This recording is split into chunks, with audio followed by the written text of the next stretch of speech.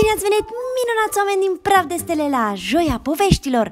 Astăzi o poveste specială, sau mai bine spus, o animație specială la care am muncit foarte, foarte mult. Sper să vă placă ceea ce am făcut. Este vorba despre povestea ce am văzut când am zburat spre lună.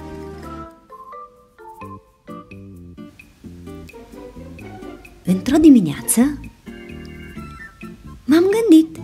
să zbor spre lună.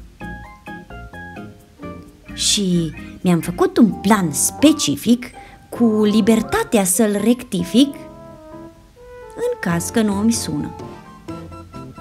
O perie, pastă de dinți și un pahar cu apă, creioane colorate, un măr, ciorapi și o prună seacă.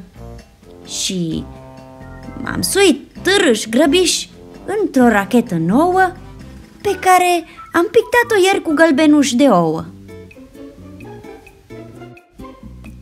Și vum! Mă dezlipesc de sol cu botul înspre lună. Am socotit că până acolo îmi ia o săptămână și că în zbor voi reuși să văd ce se petrece. A, am luat și o pătură, să nu-mi fie rece.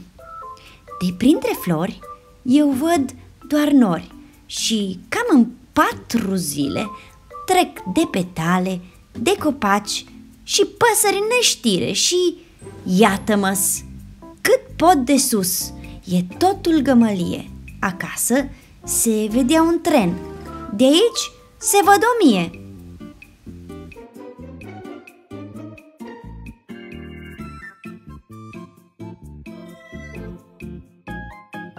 Rămân o clipă printre nori. Îmi place ce se vede. Din milioane de culori, eu văd albastru, verde și mă desprind spre lună zbor, dar parcă foamea îmi scapă. Scot pruna seacă și un măr, beau un pahar cu apă Nu am clipit de zece ori și ia că mă pe lună. Sunt singură și simt că aici doar eu voi fi stăpână.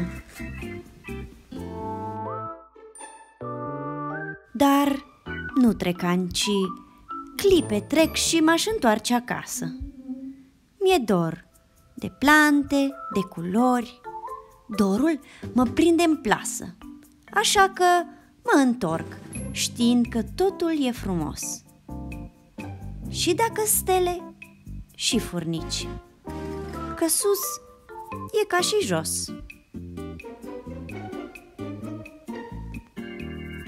Vă mulțumesc din suflet că ați urmărit uh, povestea de astăzi. Sper că v-a plăcut.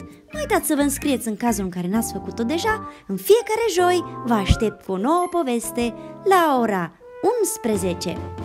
Pupici!